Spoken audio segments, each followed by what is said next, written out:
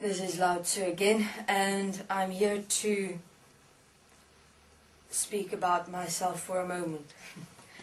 I am currently manifested here on earth in a manifested human physical body uh, as a human being, and I'm able to communicate through this portal in full awareness of where I am manifested as here on earth.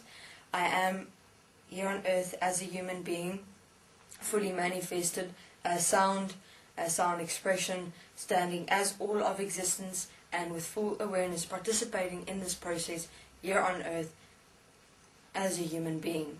And thus, as I'm communicating here, where I am specifically manifested as a human being on earth, I'm in full awareness. And as I'm communicating here, I'm aware of exactly what it is I'm saying.